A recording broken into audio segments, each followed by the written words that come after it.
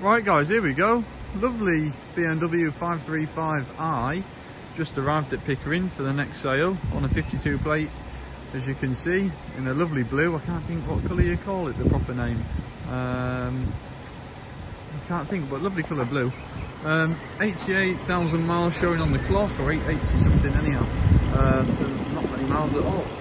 Um, and a lovely car all round. Nice and clean under the engine bay. Um, looks very solid.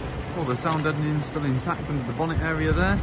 Um, so yeah, ticking over there lovely as you can hear. All is good under the hood. um, bodywork wise, clean car. Clean car for its age. There might be a few minor little stone chips and things on the front, but overall a very straight, clean looking car. All the way around to be fair.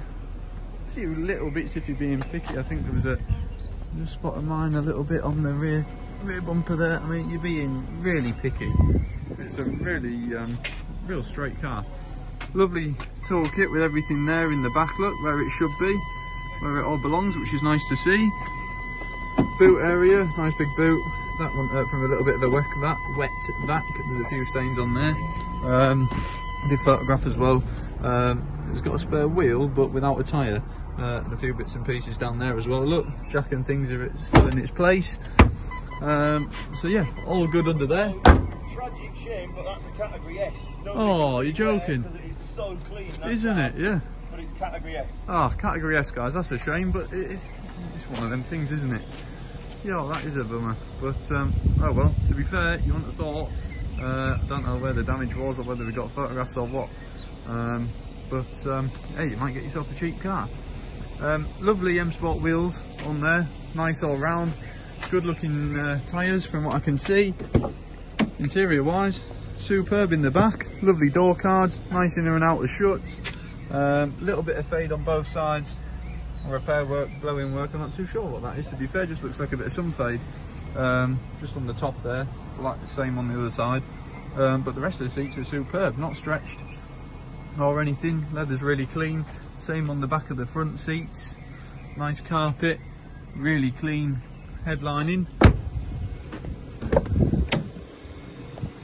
Again, likewise in the front, good door cards, inner and outer shuts. All this is nice and clean, which is good to see. Been well looked after. Shame about the um, Cat S, but it's one of them things. Passenger seats okay. Little bit if you're being fussy. Minor, but overall really good.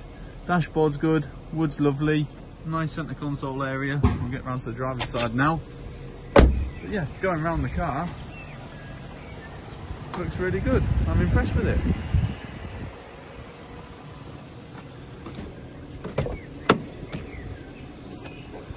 Little bit of minor wear just on the bolsters here on the driver's seat. Obviously, gets used the most, so it's likely to have a little bit, isn't it? Um, but for the age, yeah, really good. I'm quite impressed with this. But yeah, like I say, lovely centre console. The um, what do you call it? You know, the the, the um, mean, what do you call it? The, the dials on there anyway, look, they're just going a little bit pixelated. Can't think what you call them. Um, but dashboard's lovely. Saying I've got a low tyre somewhere. Might want, want a bit of wind in one of them.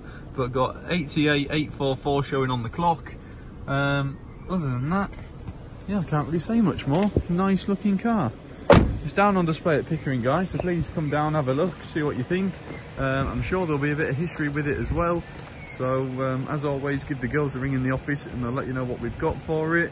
Uh, or better still, come down, have a look at the car, and then uh, nip to Thorntondale and have a flick through the um, have a flick through the paperwork and see what you think. But uh, yeah, I think that's all I can say for this one.